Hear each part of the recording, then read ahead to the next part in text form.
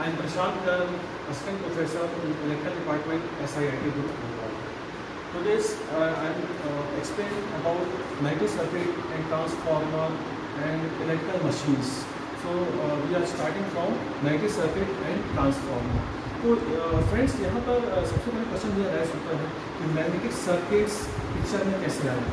जो भी electrical appliances हैं, वो यूज़ करते हैं मशीन यूज़ करते हैं वहाँ हर जगह मैग्नेटिक फ़ील्ड बनती है मैग्नेटिक सर्किट यूज़ होता है और उससे पहले सबसे पहले बात आती है मैग्नेटिक प्रॉपर्टी की।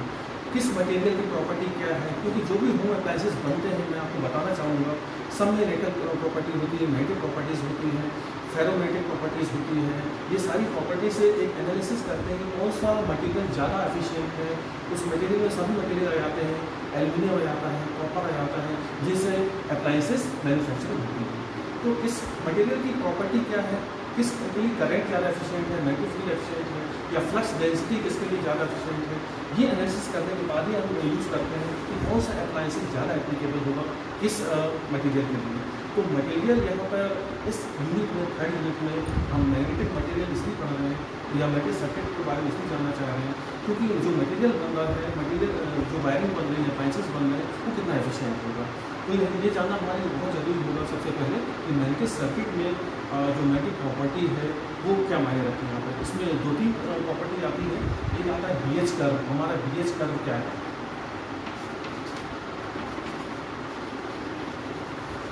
किसी भी मटेरियल के लिए अप्लाइंसेस की मैन्युफैक्चरिंग के पहले, ये एनालिसिस करते हैं किसका बी एच कर्व किस मटेरियल के लिए बहुत अच्छा होगा। यहाँ पर B stand for flux density and H stand for magnetic intensity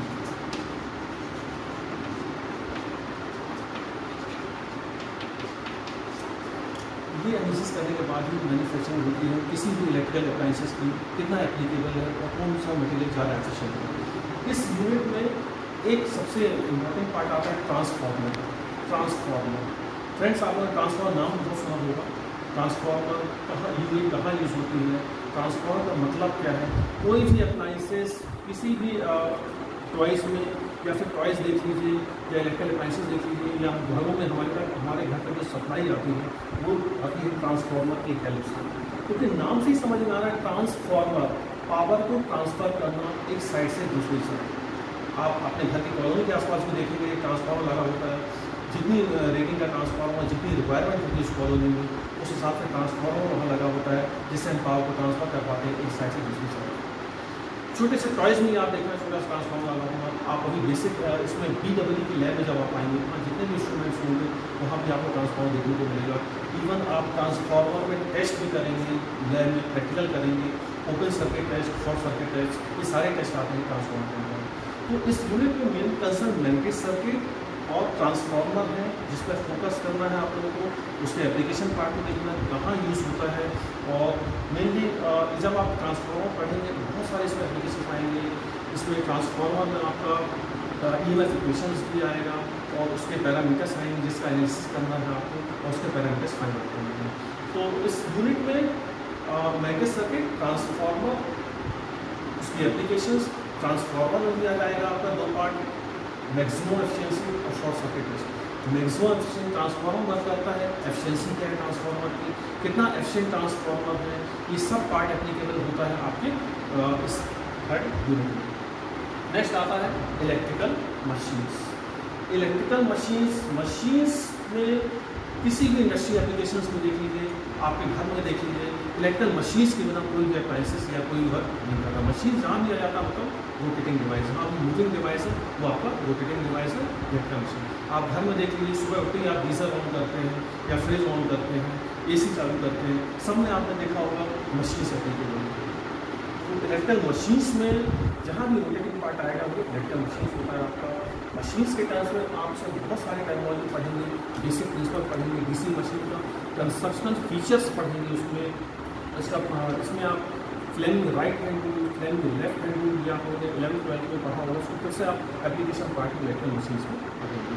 तो इलेक्ट्रिकल मशीन्स में यहाँ पर आप लोगों को पढ़ना है डीसी मशीन डीसी जनरेटर इसमें इसके तीन पार्ट्स जाते हैं, एक सेपरेटली एक्साइटेड मशीन और आपका सेल्फ मशीन इस मशीन में आपके तीन पार्ट्स हो जाते हैं B C DC DC series motor आ जाता है डीसी शंट मोटर आ जाता है और कंपाउंड डीसी मोटर आ जाता है। तो इस तरह से डीसी मशीन को कैटेगराइज किया गया है और इस यूनिट में आप इंडक्शन मोटर का भी पार्ट आ जाता है और आपका यहाँ पे सिंक्रोनस मशीन इंडक्शन मोटर जैसे कि आप जानते हैं सिंगल फेस और थ्री फेस इंडक्शन मोटर में कैटेगराइज किया गया सिंगल फेस इंडक्शन मोटर आपके घर में अप्लाइंसेस है, वहाँ सब जगह सिंगल फेस इंडक्शन मोटर होता है। इवन आपके जो फ्रीजर है, उसमें भी यूज़ होता है।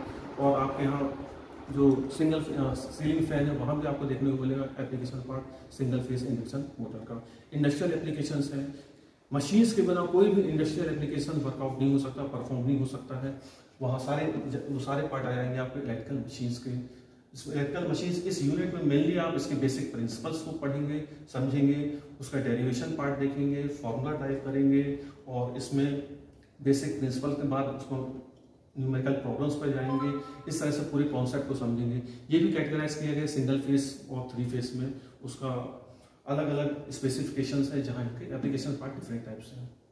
So this is for third unit and fourth unit rest of part fifth unit